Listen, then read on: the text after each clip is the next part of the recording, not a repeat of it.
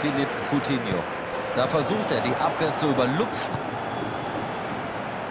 Er hält einfach mal drauf.